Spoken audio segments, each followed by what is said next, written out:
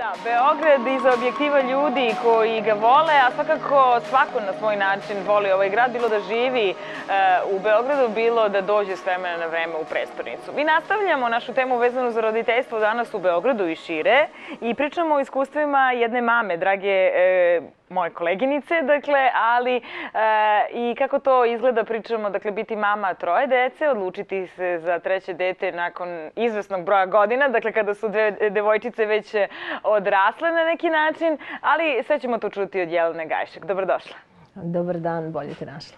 E, danas je tema nekako roditeljstvo nametnulo se, ne znam, kroz, kroz samo uređivanje e, našeg današnjeg programa i ti si rodila dečaka na, e, kada su devojčice već, pa nisu bile odrasle nikako, ali su već imale ovaj, značajan... 10 i 6 godina. Eto, dakle, velika razlika može se reći ili ne. Pa, ja mislim pravilna razlika. Da bi se svakom posvetio koliko treba ako kreneš na vreme ili da u ovom mom slučaju možda i ranije kad e, gledamo iz ovog našeg danas savremenog aspekta življenja.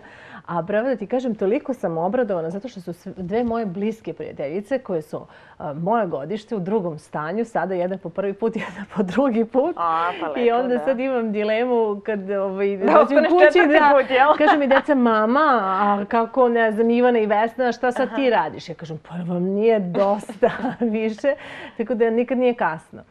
I ovaj, o, mislim Dobro, eto da, kažeš da ta drugarica po prvi put, jel da? Drugarica po prvi put i ovaj, prvo pa muška. E, pa lepo, da ne pričam mnogo, ovaj, lepo je i lepo je kad se to desi, eto tako, i neplanirano i prirodno i da u tim nekim, a ja sam sada, eto, zagazila u 40-u, ovaj, je moguće postati roditelji bez ikakvih problema. Sad se te granice pomeraju i nekako ovaj, to, je, to je dobra vest.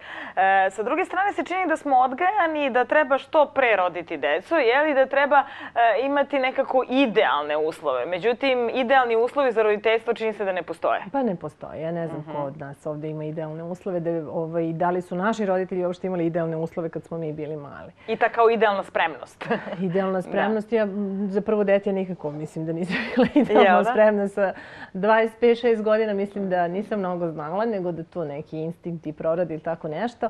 Ali da se ne treba uopšte opterećivati godinama, nego da Mhm. ovaj, treba osluškivati sebe i, i vidjeti da li ste spremni za to ili niste. I mislim da je najosnovnije kod ženske dece i da to stalno treba ponavljamo, da one budu samostalne, da imaju svoj posao, da mogu sa ili bez muškarca da imaju decu a, i da je to poenta svega. Da ne treba, kod nas u Srbiji postoji ona stara poslovica koja vodi u propast, a to je kad ne mogu završiti školu, ja se udam, a kad ne mogu nađem posao, rodim dete i sve je gotovo. Mislim da nekad jeste pametno odložiti sve to, stati na svoje noge, ne očekivati mnogo od partnera.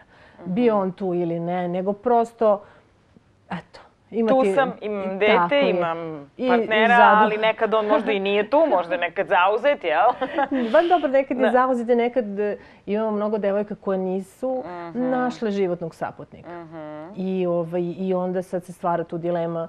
I, isto tako, juče sam bila sa prijateljicom, ne smijem da otkrivam imena, ali Naravno, ona i je, recimo, um, moje godište, potpuno je samosvesna i kupila je svoj stan, prede na fakultetu, ima svoje kole i nije našla životnog partnera.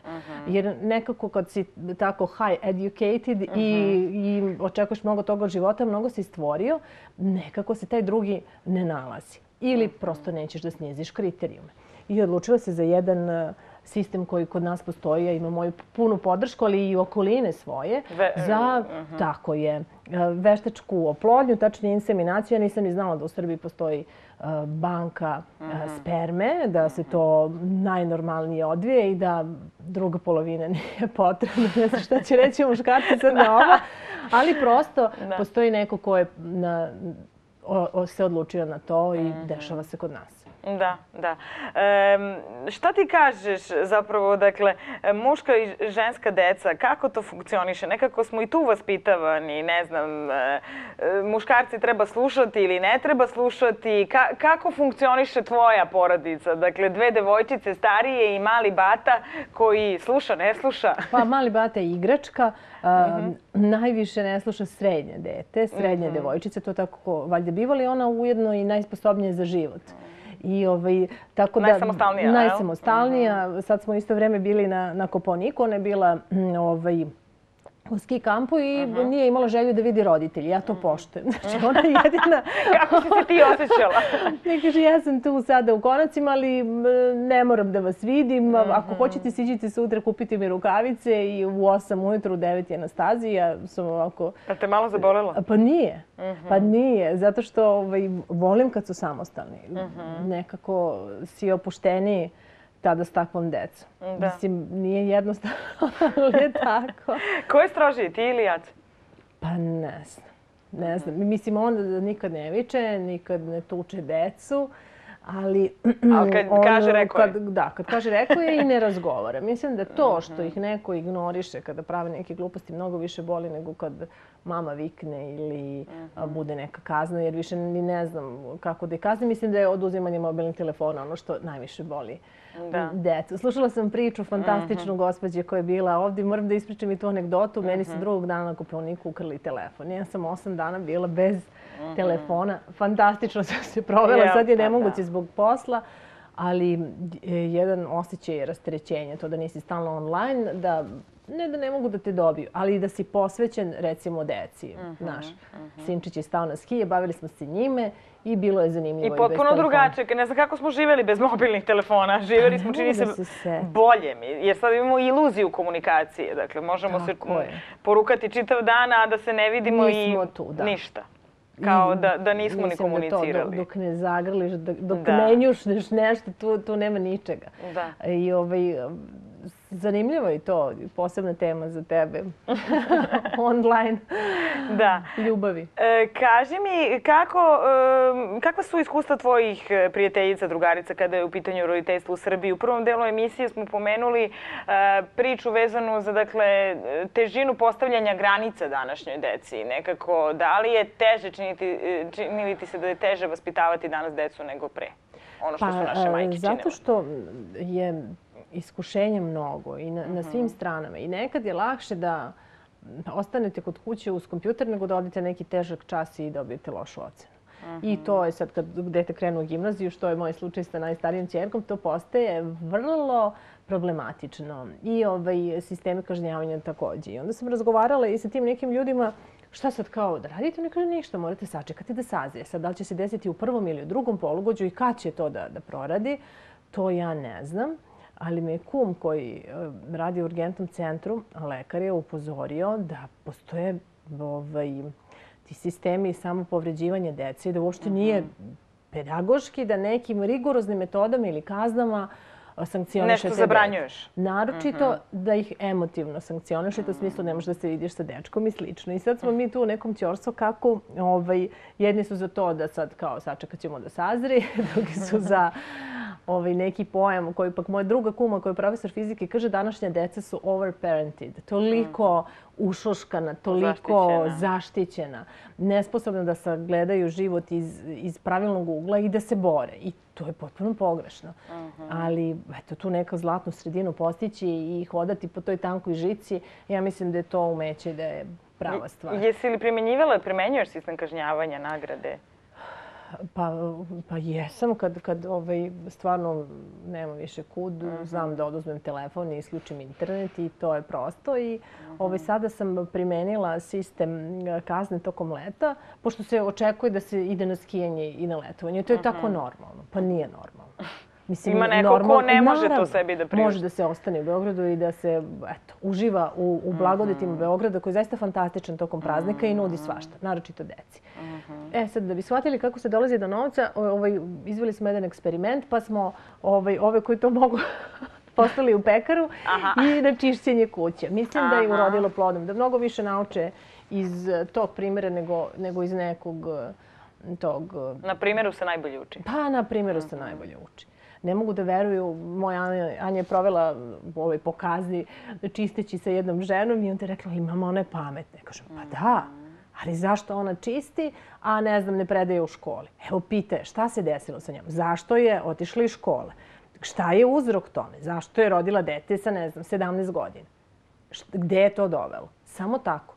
Jer ovo, imaš sad profesora iz ovog, iz onog, ok, to je sve u redu. Ali ako ne to ne urodi plodom, ovaj, moja jedna strašno pametna drugarica, čiji je e, sin sada fantastičan na studijama i u inostranstvu, i isto tako ima neki period u gimnaziji, ona ga je zaposlila da e, nosi topli obrok, ne znam, radnicima. I ta priča koju on čuo tih ljudi, na njega uticala za tih mjesec dana toliko da je dete, da ne mogu da ga prepoznaju. Mhm. Ništa ovo sad...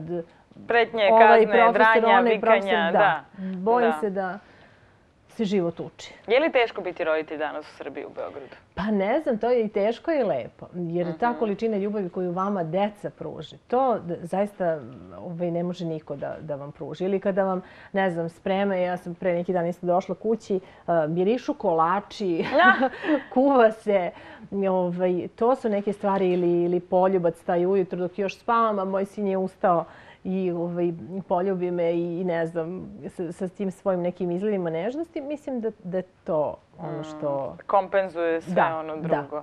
Da. 15 godina smo proslavili emisije tvoje, li tako? A, boga mi 18. 18 godina. Dakle, emisija je počela pre nego što su se klinci mm, rodili. Tako je. I sve vreme stvaranje emisije i brenda bili tu. Oni dakle, može tu. se.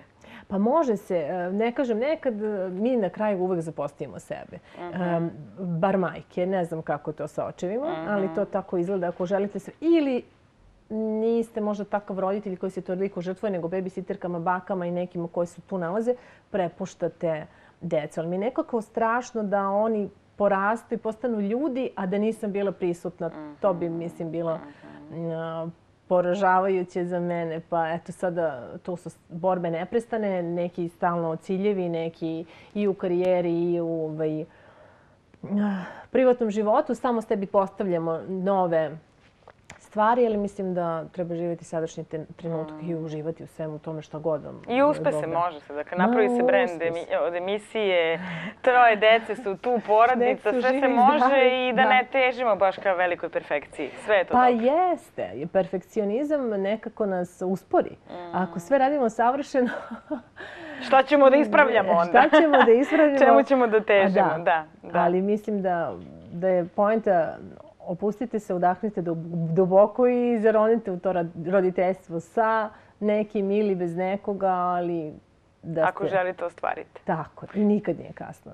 Da. Bez razmišljanja, ja, ja sad imam 30, imam 35, imam 40. So what? Nebitno je. Samo napred. Hvala puno, Hvala Jelena, tebi, na ovoj optimističnoj e, priči i na iskustvima koje si podelila sa nama. Hvala puno.